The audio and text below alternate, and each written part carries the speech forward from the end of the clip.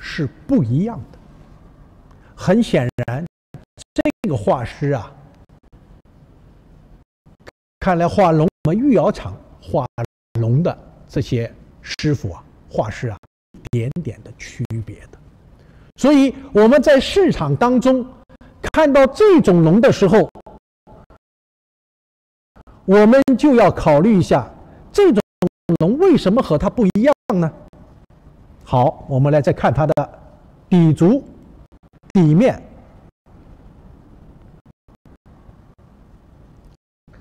背面青花，同样是用矾红画的龙，啊，那么但是这个款的写法呢，和我们前面看到的不一样了。刚才我们这个款呀，是双圈六字三行款，是横款，呢是双圈六字两行款，唯独只有一个东西没有变。那么，请我把它放大给大家看。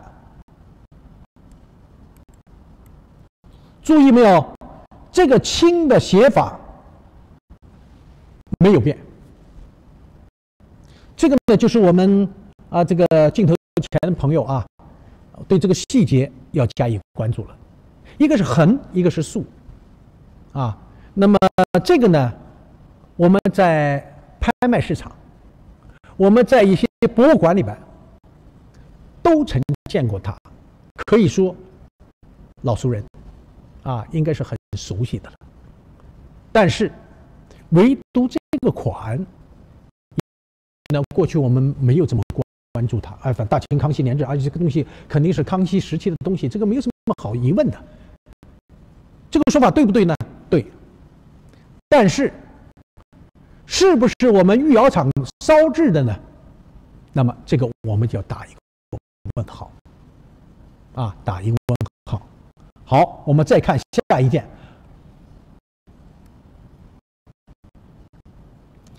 大家注意没有？这可不是刚才我们看到那个盘了，这是一个碗，啊，一个碗，类似于一个蹲式的碗，啊啊，类似像一个蹲式的碗。绘画的风格。运用的装饰技法和刚才我们看到的那个盘完全一致啊，唯独不同的是什么？这个呢没有海水，而是画的云，在云间龙在戏珠。但是大家一定要关注这个龙头和刚才是不是一样啊？完全一致。那么，所以呢，这应该是一个窑里啊烧造的东西，而且这个画师应该不会出于更多，局限于一两个人而已，不会太多的。所以你看画的这个龙，这个龙头都是一样的，姿态基本相同。那它不像御窑厂，御窑厂的画师那可不是一个。啊，因为它这个批量比较大，而这种东西呢，它的批量是有限的，啊，批量是有限的。好，我们再看它的底部，它底部落的什么款？大家看一下，这个“青”字，这个写法啊。那么这又回过来了，刚才我们看的盘它是竖着的，这个呢双圈又变得横过来了。大清康熙年制，六字三行楷书款，啊，那说明呢，这个窑里烧的东西啊，它款的写法既有一定的规律，但有的时候呢，也会出现一些略微的变化。这个就是我我们要注意的一个问题了，啊，那么，这个作为一个知识的话呢，我们每个看过的人一定要把它记在脑子里，啊。每一个窑，啊，它有不同的风格，不同装饰技法，就跟我们学书画鉴定的人一样，学书画鉴定其实比我们陶瓷鉴定啊要复杂很多的。因为什么？每一个画家你要记，画家青年、中年、老年绘画风格是截然不一样的。年富力强画的最精彩，年纪大了肯定要弱。年纪轻的时候显得有点稚拙。啊，你想想中国历史上多少画家，你要记多少人？那么陶瓷当然他不是画家，啊，但是他每个窑有每个窑的特点，这也是我们每个学的人必须要注意的一个问题。啊，那么还有一个大家要注意。这个地方我看到了这个字，康熙的熙，我们一般来讲，我们的御窑厂烧的这个熙啊，这个不是大臣的臣，而是一个木字，双木的木。啊，你看这个上面是臣，所以这种情况呢，也是比较特殊的，在康熙时期比较少见啊。啊，这些地方我都提醒我们镜头前的朋友，都要注意每一个细节。的变化，不同时期，啊，既有相类的地方，但是也有不同的地方，所以我们在掌握大局的同时，对一些个别的特殊的现象呢，要加以甄别，但同时也要记住它，不能一看这个东西，哦，这个不对的，康熙没这个本事，啊，一概否定，啊，这种一刀切的做法，也是值得商榷的。是不值得提倡的，所以我们每一个学的人，你的知识量一定要很大，你才能鉴定东西，啊，鉴定东西。好，我们继续。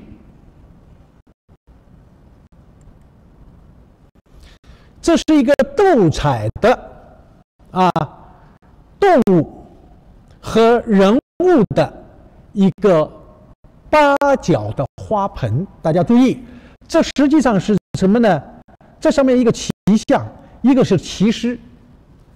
这个是我们一个菩萨呀，啊，这是菩萨像。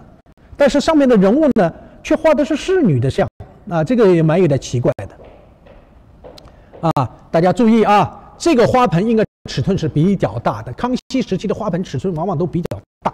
那那么这个花盆做的呢，从形制上、色彩上、人物的构图上、色彩的。描绘上应该这个水准也是相当高，水准不低啊。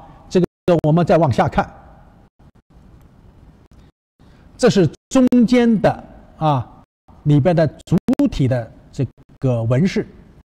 那么看到这种纹饰呢，我提醒大家注意，看到这种这个纹饰以后呢，一定要想康熙时期的这种动物的绘画方法。以及人物的绘画方法啊，呃，这个请大家呢要关注一下。你看，像这种动物，包括嘴里边突出这这种啊云气、蝙蝠啊这种东西，这是康熙比较多见的。到后来以后啊，就雍正、乾隆以后这种东西就很少了，除非民国时期的仿品啊，这个是康熙时期特有的一个现象。绘画装饰技法好，我们再看。这个花盆的款啊，一般我们都叫它横款或者叫窄边款，都是横着写的啊。那么所有的花盆，不管它是方的，刚才我们看到这是八角的还是圆的，它都不会写在它的花盆的板沿上啊。一般都是放在它的窄边，放在这个口沿的下半部分。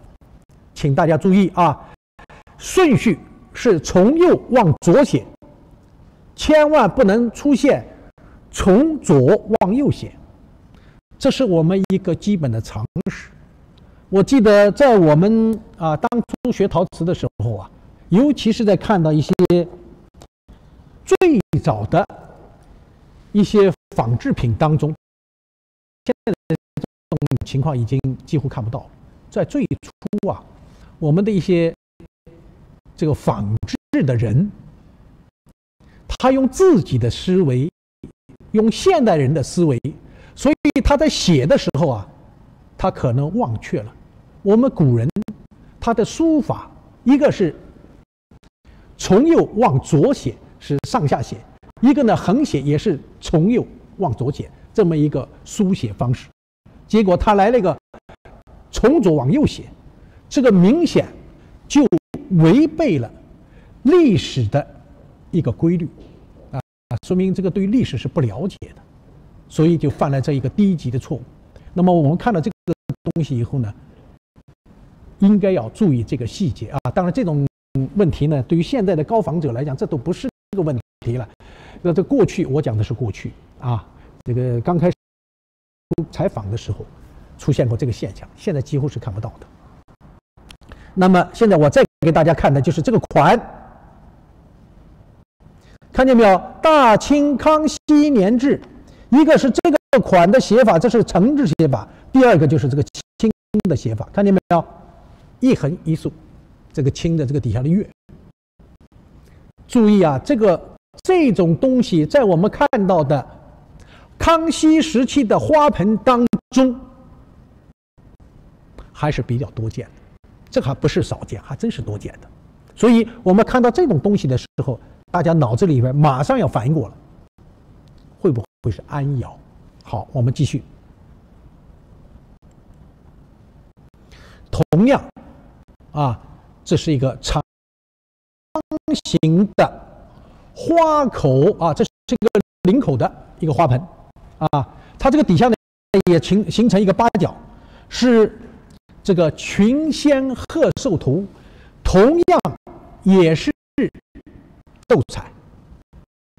哎，我们发现了这个，会不会这个安瑶对这个斗彩啊情有独钟？我们看到很多件了啊，这个很有意思，都是斗彩器啊。这个是八仙过海啊，各显神通。好，我们再继续往往下看。同样啊，这个这个都是八仙啊，这个过海的，这可能是这个是张国老啊骑的驴还是什么啊？这个好了，我们不去管它。我们现在要看的主要是这个清康熙年制，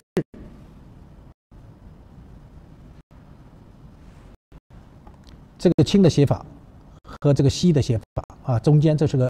丞相的丞，忠臣啊啊，不是忠臣的臣啊，这个丞相的丞啊，这个请大家关注啊。好，我们再来，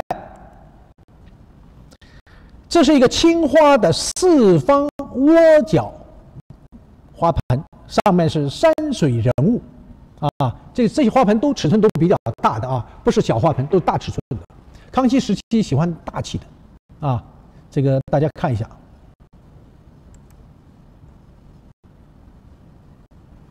注意没有？这个款的写法，刚才我点的是两点，这个上面依然存在，啊，一个清，一个西，中间那个橙字的写法。好，我们继续。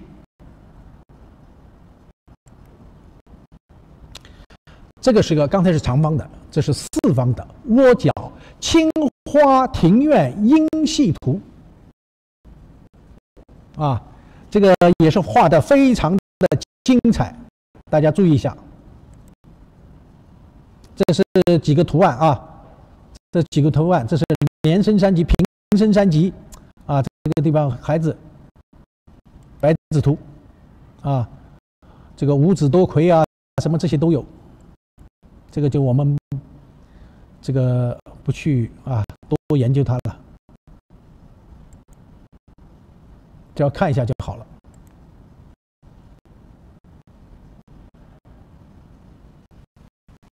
看见没有？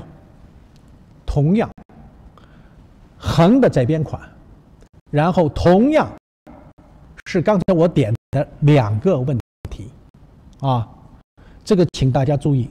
这就是我们发现的，它有自己的特点。好，我们再来。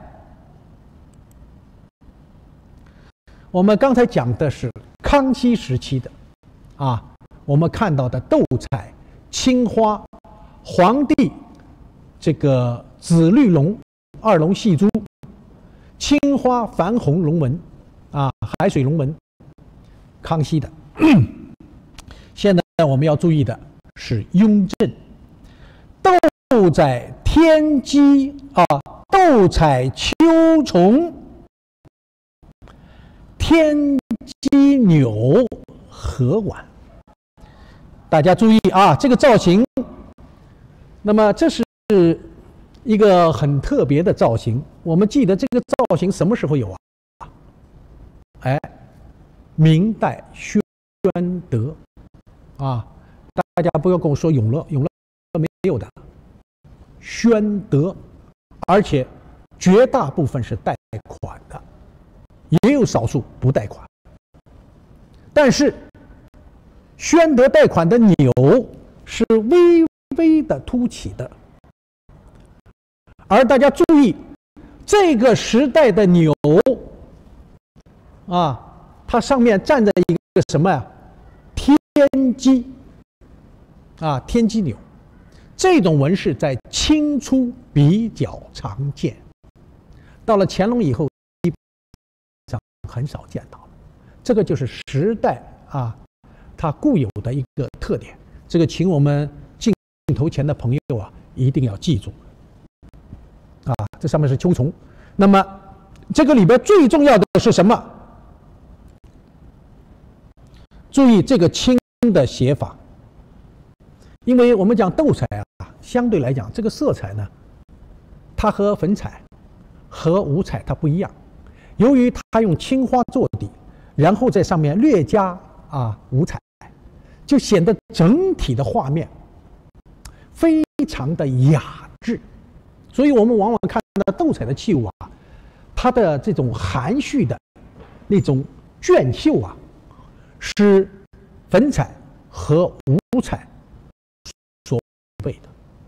所以我们在欣赏陶瓷的时候，要如何的对不同瓷器加以甄别，加以区分。如何去描述它？这个都是我们每一个人必须要掌握的。啊，不同东西、不同品种，它有不同的特性。啊，好，我们再看下边。同样是一个盒碗，这是斗笠碗，这个是很常见的啊。一般来讲呢，我们都是看的是什么呢？只看到底。看不到上面那个盖儿，它正好是两个斗笠呀合在一起，打开就是两只碗，合起来就是一个盖碗，而且这种这个叫斗彩喜鹊登梅碗，或者叫喜鹊报春图，啊，这个纹饰它也是一个比较祥类的一个纹饰啊，这纹饰看起来也是很雅致的。啊，我记得，呃，上个世纪啊，呃，到这个世纪初吧，这个我们在澳门啊，还有这个香港啊地区，我们很多的朋友呢特别喜欢祥瑞的东西。那么见到了这种喜鹊登梅的图案呢，我们有些朋友。哎，他别出心裁，他觉得这个梅就是那个倒霉的霉，这个喜鹊登梅不是找的倒霉吗？这种想法是错的，这是你这么想，这跟我们中国这个上千年的传统文化相比较的话，你那个思维是不做挂齿的，是你叫自作多情，跟我们古人的想法完全不是一回事儿，所以你就打消这个想法吧。我们还是按照我们中国人的传统的这种喜好，喜鹊登梅、喜鹊报春，它就是一个非常祥瑞的啊，一个很非常喜庆的一个纹饰啊，一个图案。我们今天大家依然还应该是非常欢迎它的啊，千万不要用那种自己的一种邪念。去评价我们中国传统的这种图案，这是不合适的，你也没有这个资格去评论它，啊，叫荒唐啊！好，我们再看一下啊，看见没有？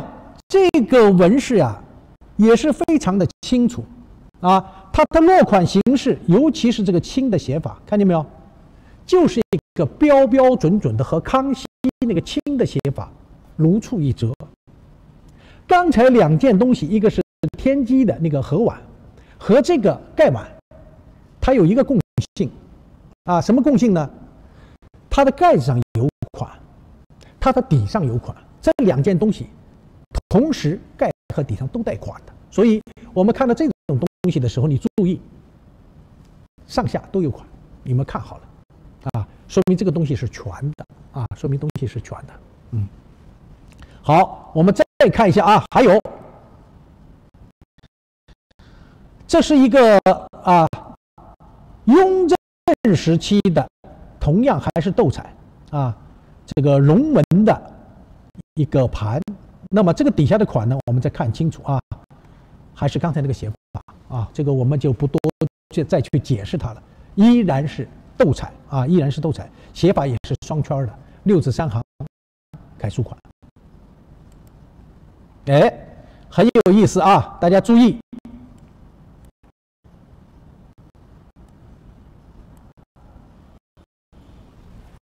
外边呢是青花莲花托八宝，啊，托八宝纹的。那么这种纹饰呢，底下这个落款的形式和刚才那个斗彩是一模一样，啊，一模一样的。那么只不过呢，这件。东西呢，整体的它就是个青花的一个花口盘。那这件东西呢，这个书写的方法和刚才一样啊，完全一致。那么这个是我们要给大家看的啊。再看几件，这个各种品种我给大家看到了。这是一个粉彩啊花卉的一个斗笠碗，这个我们镜头前的朋友应该这个应该是不陌生了。啊，应该是不陌生的，但是大家要注意底下这个主体的纹饰呢，是一个盛开的，或者我们讲是怒放的牡丹花，旁边飞着两只蝴蝶，那么它一个非常优雅的名称，叫什么呢？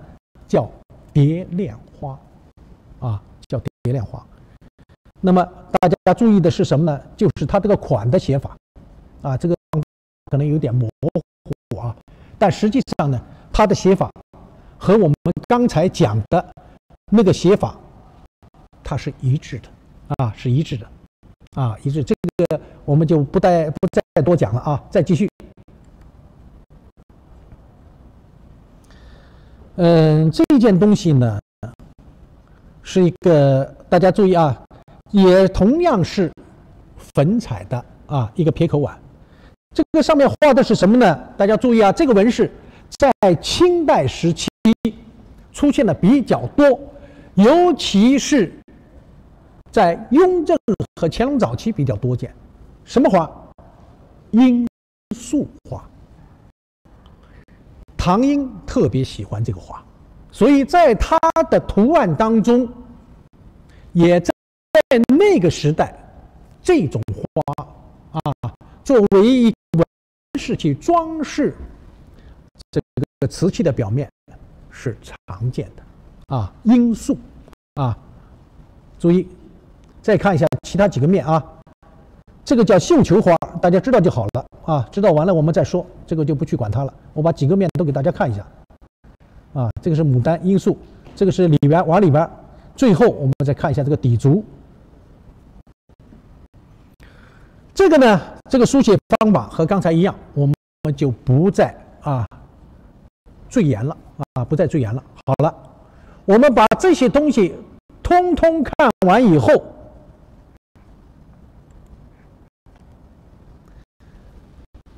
我们这个安窑上来。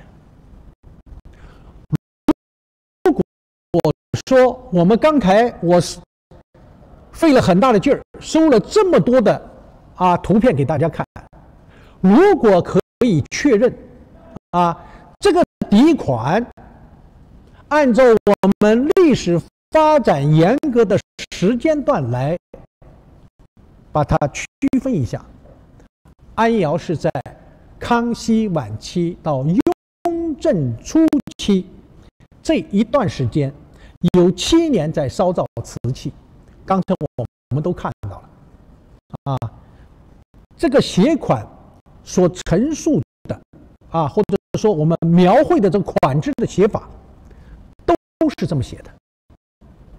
如果完全可以确定的话，那么今天我和大家啊沟通交流啊这个所谓的安窑这件事情，那么它的意义就非常大了。那么现在我们可以这样讲：既然故宫的专家确认，那么我们现在就可以把这些东西可以确认，它都是安窑所烧造的东西。今后我们在市场当中，我们不管是爱好者、研究者和收藏家，请你们注意，这样的写法，尽管它是斗彩的，啊，它是粉彩的，它是青花的，啊，或者是其他品种。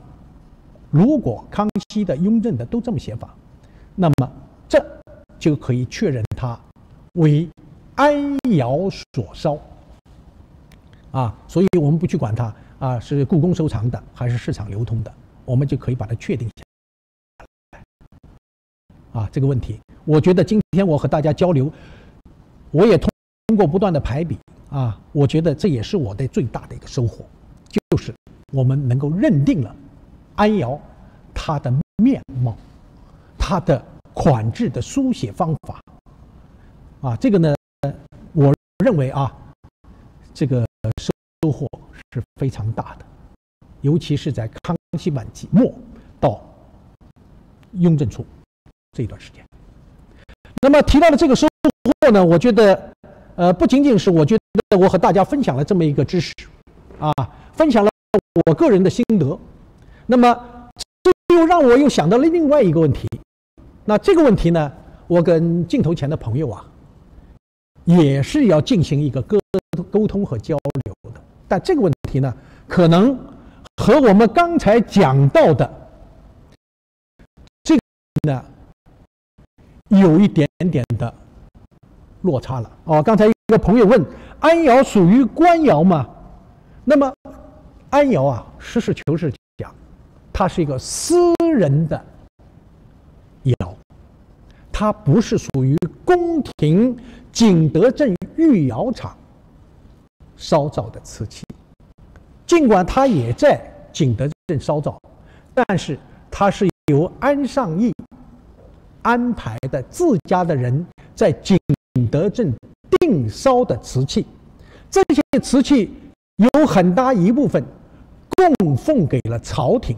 就是我们刚才看到的这几个花盆，实际上都是故宫的收藏，包括我们刚才看到的康熙粉彩的这个小的那个水鱼，也是故宫收藏的。那么，如果我们把它很严格的讲，这个东西一定是官窑，这个呢，可能还是有一点点的区别啊。镜头前的朋友，这个还是要我们要把它区分开。但是呢，这些东西呢，宫廷是笑纳的，而且也收藏到今天。那么在市场当中，我我们也见到了不少，啊，但是我们绝大部分人呢，都对它还是比较看重的。虽然我们不能严格意义上的讲，它是御窑厂的作品，但是大家对它的工艺、绘画技法，啊，这个还是认可的，啊。有的时候，我们有很多朋友就把它当官窑瓷器来买的，啊，而且有些东西呀，这个价格上其实也是不菲，哎，但是我提醒我们镜头前的朋友啊，呃，我们有些问题呢，你还不能把它特别啊划分的那么细。啊，因为我们讲这个瓷器啊，它是一个自然学科的东西，是一个历史的产物啊。是一个文化文化的符号。那么一个作品啊，它的价值，尤其我们讲它的艺术价值、收藏价值在在哪？我觉得最关键的关键是它的艺术价值所在。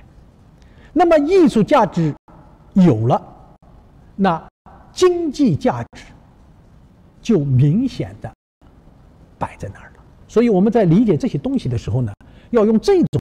思路去理解，而不能说这是官窑，那是民窑，这种非常简单的对一个东西进行划分，这个呢，有的时候我觉得不太切合实际啊。如果你简单的说它是民谣的话，那宫廷怎么收藏呢？刚才我们看了几个花盆，全部是故宫的东西，那怎么讲呢？对吧？我相信台湾故宫也会有啊，所以我们不要这么简单的把它一刀切。我觉得这种东西更重要的是它的艺术价价值是不是很高，它的制作水准是不是很高？如果它做的非常精致、非常漂亮，啊，它的艺术价值又很高，你又何妨它是一个官或者是民呢？还是这句话，艺术价值决定了经济价值，所以我们不能这个年代早，它一定价这个价格就高啊。尤其我们在市场上走动比较多的人，其实我们有有些民国的东西，艺术价值也是很。高的，啊，这个所以年代不是我们啊界定它价格高与低的一个标准，关键还是它的艺术价值。我记得我见过一个一次拍卖会上，有一件瓶啊，粉彩的酒桃瓶，画的非常的精彩，价格标的很低啊，啊，大概标了也就是万把块钱吧，但是最后成交价格完全超过了它的几。几十倍，那个东西很开门的，不会是乾隆，也不会是雍正，啊，但是为什么会有这么高的价格呢？其实最重要的就是它的艺术价值，打动了藏家的心，所以买家愿意啊，我就冲这个东西买的，所以我在这儿一定要给我们镜头前的朋友啊，尤其是我们爱好者、藏家要提个醒。我们学习，我们研究，我们收藏任何东西，都应该有一个标准，而不是随便的啊，拿着东西拿着钱就去买，不可以这样做啊，要有底线，好吧？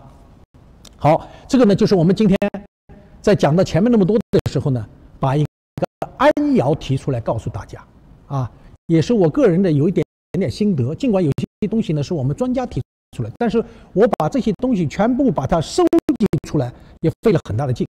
但目的是什么呢？和我们镜头前的朋友啊做一个交流，也告诉大家这类东西可能就是安瑶的东西，这就是我们的收获啊！这个收获其实很大的啊，请我们镜头前的朋友呢把它牢牢记住，将来你们一定会碰到这样东西啊。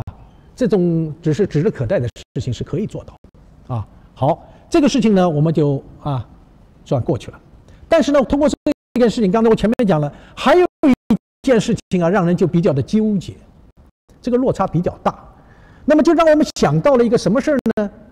想到了一个我们清廷内阁中书叫刘廷基这个人，在他的《在元》杂志当中提及的一个爻。什么爻啊？叫熊爻。这个熊爻啊，我们到现在也搞不清楚，这个熊爻是以人的姓氏命名，还是以地点命名？这个呢，到现在啊，无从查考。但是呢，这个生产的哪些品种啊，现在我们很难加以确。定啊，很难加以确定。那么，但是呢，这个清宫这个内府照办处的档案当中啊，它却有一些记载。记载什么呢？说雍正四年三月十一日，圆明园送来熊爻双管扁平一件，他就提了这么一个一句话。然后呢，这个熊瑶海棠式喜。一件熊窑梅庄笔架一件，熊窑小双管瓶两件，啊，然后呢就是熊窑冰裂纹圆笔洗一件，这个是正四年的啊，一个清宫照办处档案里边有这么一个记录。那么还有啊，乾隆三年九月初八日，七品首领萨姆哈来说，太监毛团。啊，这是个太监的名字，叫毛团，交熊瑶纸垂瓶一件。那么，这我们现在所收集到的熊窑的这个说法呢，也就这么一点点。那么这个东西呢，因为清宫档案记的呢又比较的有限，现实就是实物啊与文件。啊，记载的是否吻合，这是我们提出来的一个问题。那么我们不能从简单的只言片语当中来确定，这个就难度比较大。那么还有一个问题是什么呢？文件当中描述呢只有这个器物的造型，那么也提没有提及到什么呢？没有提及到这个是单色釉啊，还是加彩啊？有没有纹样啊？这些都没有。所以，你对熊窑的鉴定后研究啊，我们到现在依然是一片空白。这个呢，就啊，这个这个这个就比较纠结啊，比较的难办。或者说，这个器物尚存，但是我们不了解它。也就是说，我们有些东西呢，可能就是熊窑的，就在我们身边。比如说这支笔。这明明就放在我这个桌子旁边可是我不知道它是什么窑啊！所以我们现在面临的这么一个尴尬。尽管刘廷基在在原杂志当中提到了熊窑，而清宫造办处档案当中也提到了熊窑，我们只是看到这里边有一件东西是可以明确的，比如说熊窑冰裂纹圆笔喜。所谓的冰裂纹是什么呀？很有可能就是歌窑。说明熊窑可能还烧这个割割釉的东西，那么其他是什么呢？说这个眉庄笔架，啊，这个眉庄笔架是单色釉啊，还是五彩呀、粉彩呀、斗彩啊？不知道。那，这个海棠式玺究竟是单色釉的还是彩瓷啊？不知道。所以这一切啊，就让我们感觉到这个熊窑啊，可能。远在天边，近在眼前，我们不认识。这就像刚才我们讲的啊，秘色瓷，我们宋和宋后来的一些文献当中，都曾经简单的提到过。啊，这个这个作为一个供奉的瓷器，唐代就有，然后五代有。宋代有，一直到南宋都有，但是我们只是通过只言片语，其实东西就放在我们的眼前，我们就没有办法来确认它。只有等到阀门寺的那个账目单一出来，里边写的秘色瓷多少口，一下子大家豁然开朗，这个一层纸啊，就捅破了。哦，原来秘色瓷就是越窑青瓷，而且唐代晚期就有，啊，这个我们大家一下就搞明白了。那么今天我们所面到的、面对的这个熊窑这个问题啊，也是让我们感觉到很困惑的一个原因，不知道，啊，东西就在我们眼前，可能我们都分不出来，就跟我们刚才讲安窑一样，安窑我们现在如果按照我们之前讲的那个标准，我们今天。和我们镜头前的这么多的朋友，我们可以来分享，像类似像这样的东西，我们就可以定它为安窑，这个我们可以确定了，啊，今后大家可以从中间，啊，或者是今后我们参观收藏的时候碰到这样东西，我们就可以很容易的把它界定出来。但是熊窑，就是刚才我讲的很尴尬、很纠结。那么现在就出现一个什么情况呢？那么，在我们当初啊几十年前在学如何区分雄窑的时候，我们一些前辈，包括我们一些同仁们，啊，将什么东西呢？将一些制作比较精细的胎啊、中胎或者是一些薄胎的这个底部，若有大清雍正年六字三行楷书款啊，带双圈的啊，大家注意带双圈的这种青花款的这种粉彩器啊，都定为雄窑。那么。虽然这种说法呀，有部分的朋友，或者是有部分的人是认可的，但是呢，目前来讲，我们是缺乏足够的文献资料和实物来加以证明，所以呢，像这样的东西，它的这种啊，就是它这种提法，它的可信度啊，看来还是要有待于时间来检验了，啊，就是刚才我前面讲的。我们这种尴尬，有可能哪一天，这一层会被我们捅破。究竟是哪一天，我们不知道。就像我们自己，啊，我们是唐青花的发现者、参与者、推动者。我们八十年代发现唐青花，那个时候谁相信有唐青花呀？可是我们用自己的行。动去发现了这么多东西，啊，我我们积极去参与，最后推动它，最后得到了，啊，我们硅酸盐研究，啊，这些测试的结果，证明了这个东西确实是青花瓷器。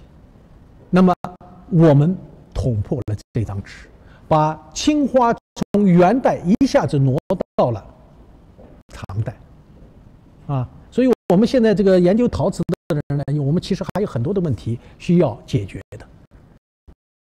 到歌釉，这个历史上我们讲的宋代歌釉，这个问题到现在没解决啊，依然是悬而未决。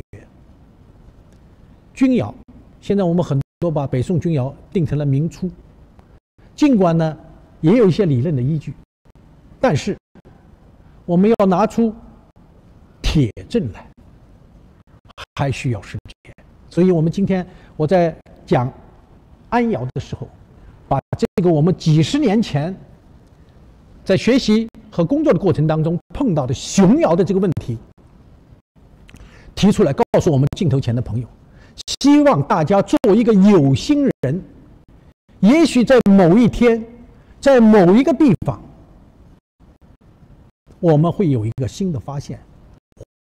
会捅破这张纸，不要看这张纸很薄，可是我们要花时间、花精力，不容易啊！我们这一辈子呀，对于改写中国陶瓷史呢，也做过一些贡献。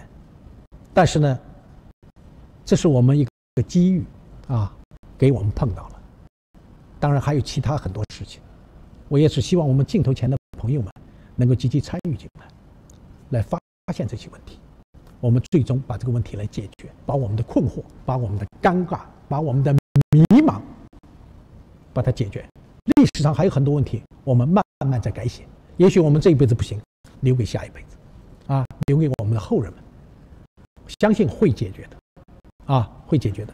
好，这个呢，就是我讲的这个啊，今天你看，一讲这个话就多了啊，话就多了。但是我觉得今天最重要的问题就是按。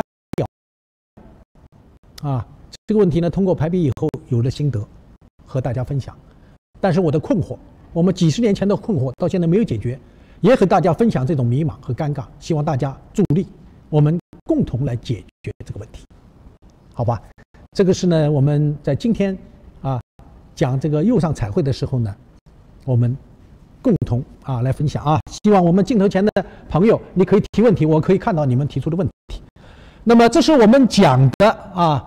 这个釉上彩绘碰到的问题。好，我们再说康熙时期的粉彩，我们前面都提过了，啊，都提过了。那么雍正时期又如何呢？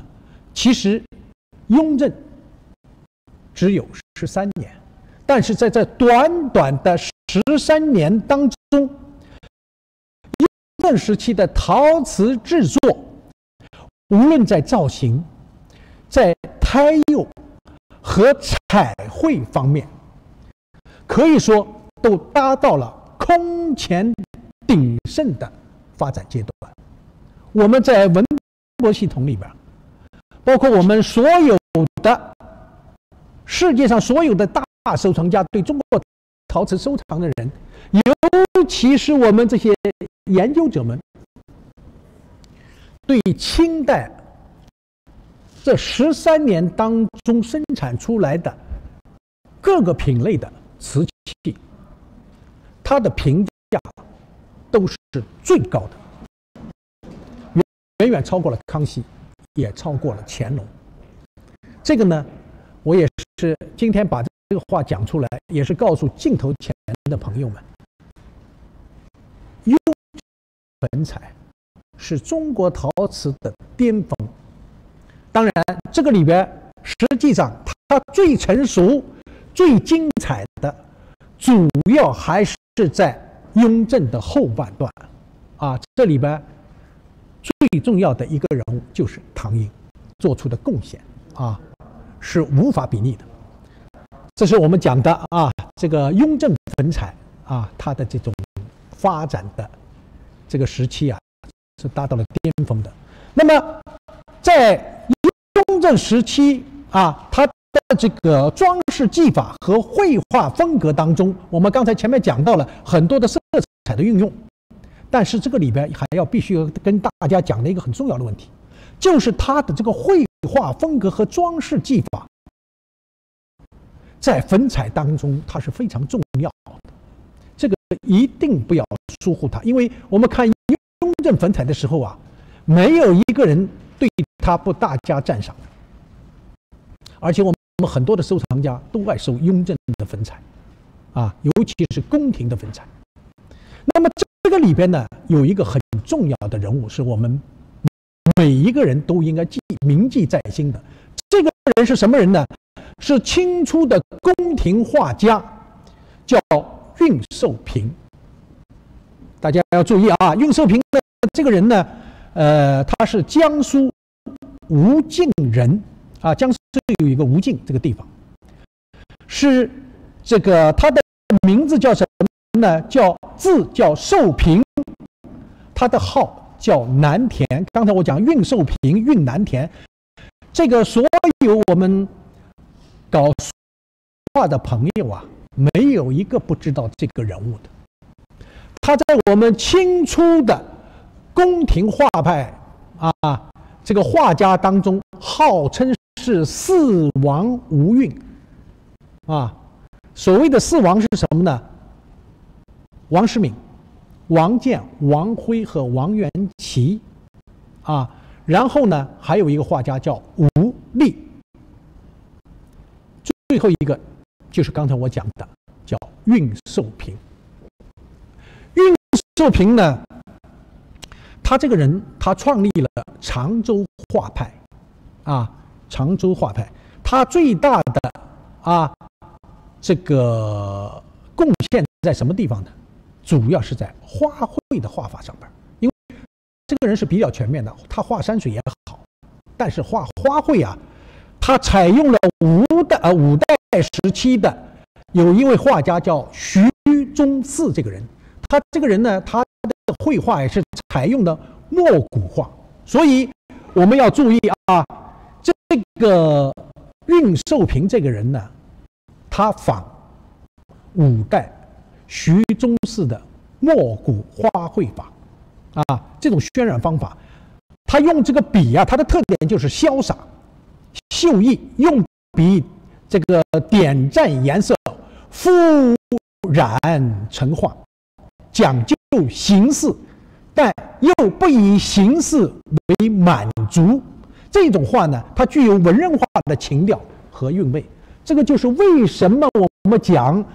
这个雍正时期的粉彩得到了宫廷以及社会各界的欢迎啊，就是因为它的绘画画技法独树一帜，才产生了这种巨大的影响。这种绘画呀，它和我们讲油画它不同，它是用中国的这种啊这个绘画技法，用这种墨骨的渲染办法，用形式和神式之间的这种技法来描绘我们生活当中的那种花卉。我们可以看一下啊，这种花卉画的怎么样？对我们绘画艺术啊，尤其陶瓷的装饰艺术，有没有影响？大家一看就知道了。来，我们来看一下啊，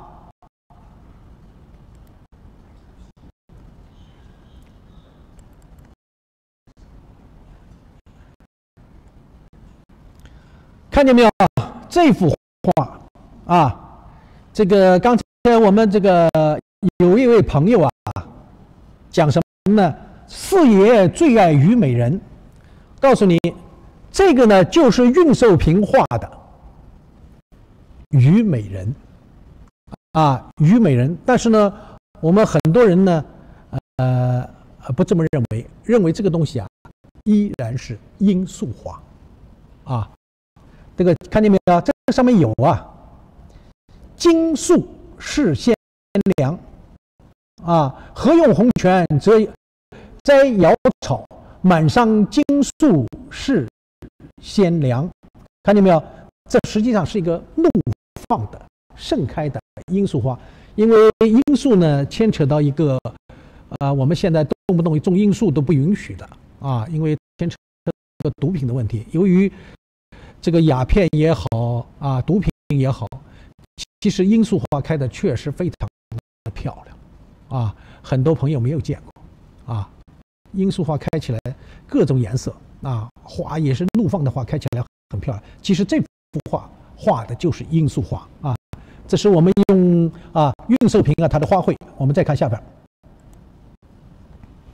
这是一个盛开的牡丹花啊，看见没有？落款逆北宋徐崇嗣设设运寿瓶啊，这就是运寿瓶画的。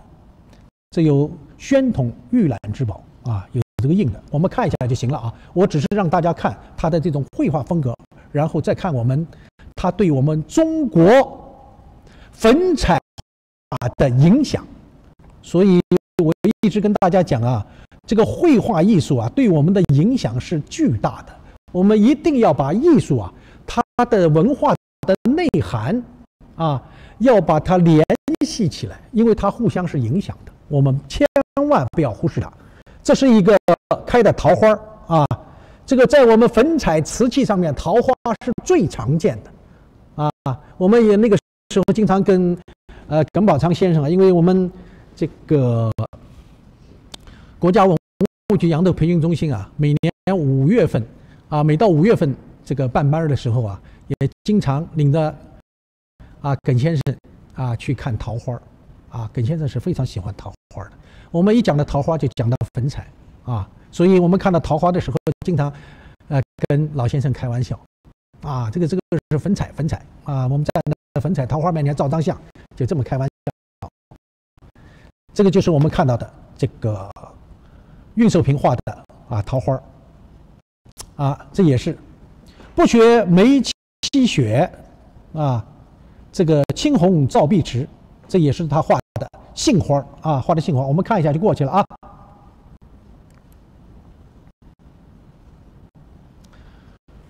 南田草衣运南田啊，这个就是画的这个紫藤和玉兰花啊。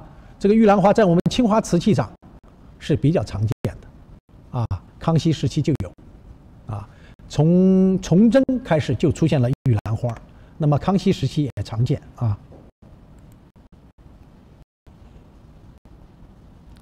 这是什么花？这是芙蓉花啊！大家注意一下，这在我们瓷器当中也经常见到。我们到时候可以给大家看啊，这个芙蕖，你看没有？这上面有江上芙蕖啊，芙蓉。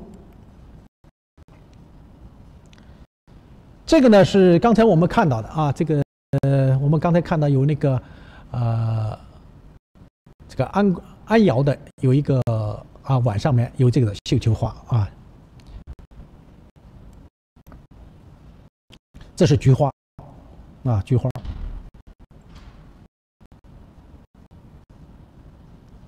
大家看一下就行了啊。好，这个我们看完了这些花以后，我们再回过来。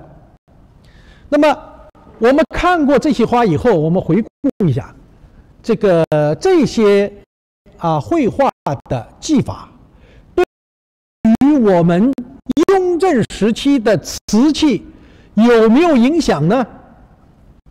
显而易见。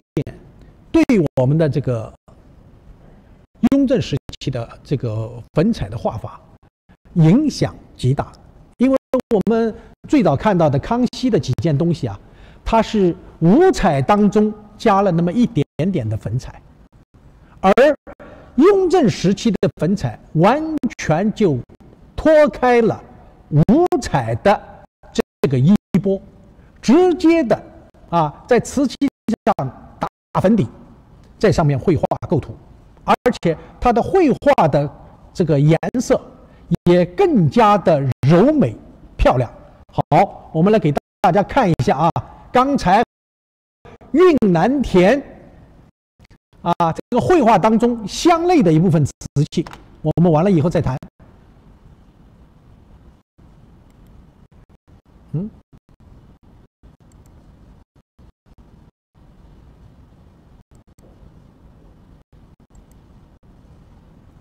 哎，这咋回事？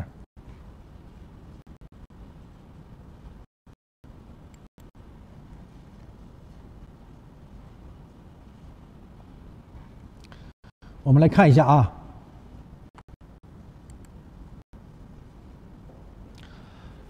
这是一个啊盘儿啊粉彩的盘，大家看一看，上面底下是这个是蜜蜂啊，这是一个福。芙蕖，刚才写的芙蕖啊，芙蕖，这还不是牡丹花啊，大家注意一下。啊，这个一个牡丹花啊，牡丹花，这是运南田画的啊，运南田画的一幅画。这个画的话呢，我们和后边的画进行一个比较啊。嗯，看见没有？这个画的这个布局啊。这个就是一个盛开的牡丹花啊，这个叶子就是牡丹花的叶子，这个花呢就是一个盛开的啊牡丹花。至于它的工艺，我们等会儿再说啊。我们先看这个花的绘画方法啊，和这个我们讲的运南田对我们这个绘画技法上的影响。看见没有？啊，这个呢，请大家注意啊，这可不是牡丹花，开的非常漂亮。这是什么呢？玫瑰花啊。对于外国人讲玫瑰花，对中国人讲叫什么呢？叫月季花，啊，为什么呢？看见大家看见没有？有刺儿的，这上面有小刺儿，啊，这是小刺儿，啊，这是一个画的非常漂亮的一个啊月季花，还有两个小蜜蜂啊采蜜，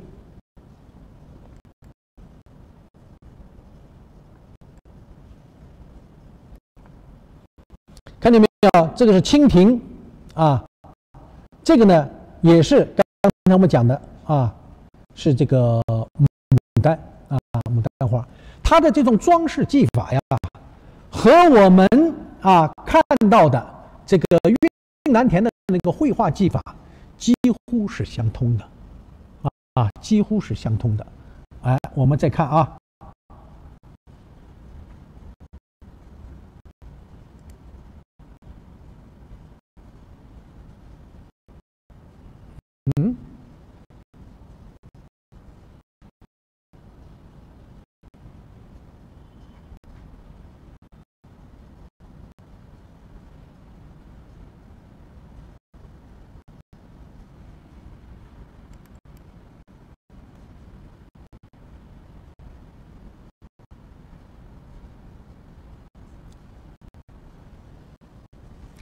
大家看见没有？这个就是。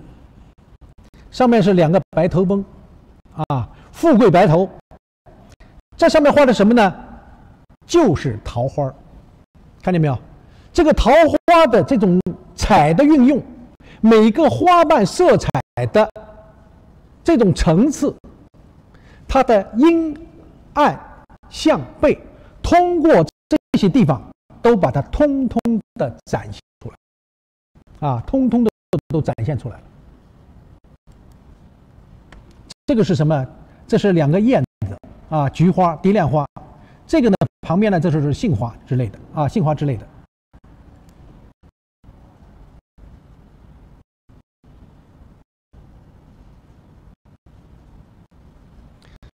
呃，这一件呢，也是一个双耳瓶啊，大家看一下，这是非常漂亮的，也是蝶恋花，这上面画的色彩非非常丰富啊。这个除了我们讲的矾红啊，这上面也有这个青花啊，也有这个粉彩啊。那么这个上面这个啊，这个色彩呢，是的确是斑斓璀璨的，非常漂亮，而这个。东西呢，曾经在苏比亚加德的这个拍卖当中啊，在香港的市场当中曾经露过脸的，但是呢，它的次数是不多的，因为这种东西啊，大家都知道，它这种东西一个是数量有限啊，再加上呢，这个颜色也这么的漂亮，所以呢，往往呢都是比较受人的追捧。那么像这样的东西，当然毫无疑问，我们给大家看的这些东西啊，通通都是宫廷器。啊，那么宫廷器这种东西呢，不仅仅啊，在我们啊这个拍卖市场当中，在这个故宫啊、台湾故宫啊、上海博物馆这些大博物馆里可以看到。那么有的时候偶尔也会在我们的呃拍卖市场啊当中也能见到。所以像这种东西呢，也是希望大家有机会啊，能够多多的去看一看，啊，来了解一。下这个不同时期的粉彩，它的装饰技法啊，颜色的变换。刚才我给大家看的这些，基本上都属于雍正粉彩。这种颜色呀，和乾隆以后的一些粉彩的这种绘制方法，还是有一点点的不一样啊。所以我们等会儿在理论上阐述的时候呢。我们再给大家再慢慢讲啊，慢慢讲。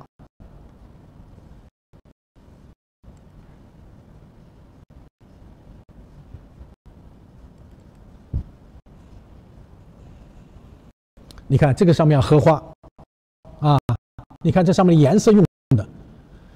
非常的这种，我们用用这个这个这个书画人讲叫脂粉气比较重。啊这。颜色既华丽又美观，啊，就给人有一种这种非常富贵的感觉，它不是一般人所能触及的，啊，所以这种感觉啊是呃非常华贵的感觉。所以在清代雍正时期，我们所看到的这些雍正官窑器啊，是我们后来人所不可能。追击上的，其实我们现在有一句话叫“弯这个弯道超车”，这种可能性是不存在的。从雍正粉彩出现到后来更多的彩器的出现，想超过雍正粉彩的，可以说几乎是零，根本达不到那个标准的。所以这就是我们在研究啊雍正粉彩的时候是要特别仔细的关注啊。那么今天呢，我们看了这么多的彩器啊，这个时间一看，一讲完了以后啊，这个时间又不够了啊。这个我们这个看来是节前啊，可能这也是我们最后一次跟大家讲粉彩。那么我相信节后我们再继续吧，因为讲的内容还是比较多。因为粉彩它也是个大的系列啊，它这个东西呢，在我们市场当中也是比较多的一个品种，所以我们希望。有机会啊，更多的和大家进行这方面的交流，我觉得是非常有必要的。那么今天呢，我想给大家看了这么多的照片啊，目呃目的呢，就是给大家先有一个印象。完了以后呢，我们再给大家讲它的这种制作工艺、施彩的方法啊。我们先从大的一个。环境当中，先给大家有个印象，然后具体的再看啊这些东西的制作方法和色彩的变化。那么今天呢，我想我们时间到了，啊，呃，也耽误了大家不少时间。那么我也在这里呢，谢谢大家啊，我们下一次我们再见啊。那么今天我们就到此。